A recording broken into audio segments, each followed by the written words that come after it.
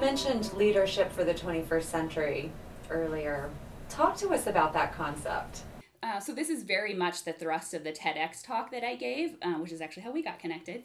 And um, the idea is that I saw so many people. So I will say I sort of straddle two generations, Generation X and Generation Y.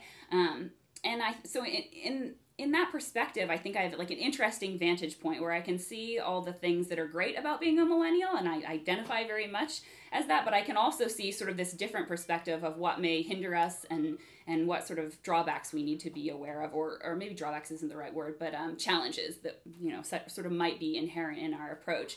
And so, one thing I saw a lot was that so many people my age and younger who are really coming up through the leadership sort of ladder um, were were you know excelling, super high achieving, and one of two things was happening.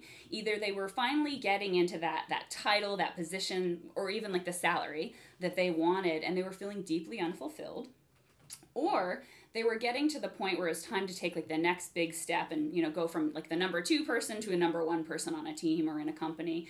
And they were just totally uninspired and I think kind of dejected by the status quo of leadership, which is very much a, a style that define success as achievement only. And I think that felt really hollow and empty to people. And I think we also saw a lot of really unethical people sort of at the top. I mean, if you look around the world and in the news, you can see that. So that's, I don't think that's anything specific to our generation.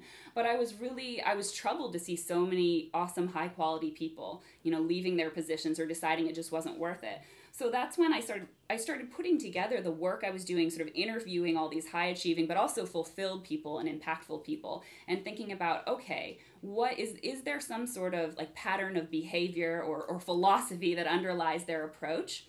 And that's what really drove me to to you know, I, I call it the new alpha model just because we needed a model, right? There's like the traditional alphas who are high achieving, but then there's these new alphas, people who are just as high achieving, but also impactful and fulfilled. And I think it's sort of that triumvirate that makes them different. And I think that's what's going to define leadership for our generation and the century to come is that eh, people are incredible human beings who know what's important to them. They understand themselves and what they bring to the table and are passionate about the work that they're doing. And I think that bleeds through and other people detect that and are inspired by that. But they also hit big goals and they're doing things in the world that aren't just about money. It's about making the world and our communities better.